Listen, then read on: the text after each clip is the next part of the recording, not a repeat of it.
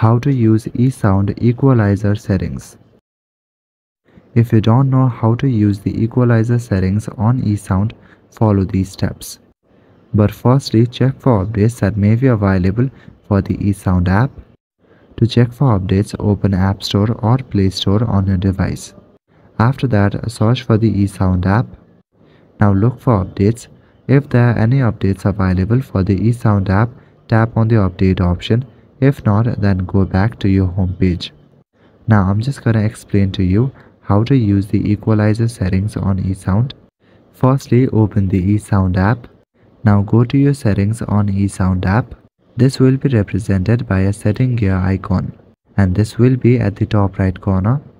In your settings, look for the option equalizer settings. If this option isn't available, that means that you have not purchased the premium version.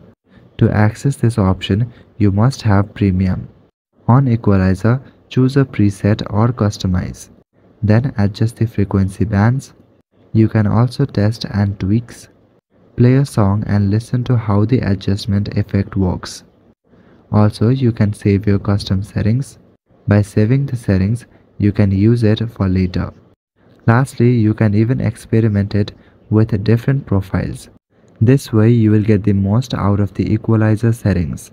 That is it for this video. I will see you in the next one. Thank you.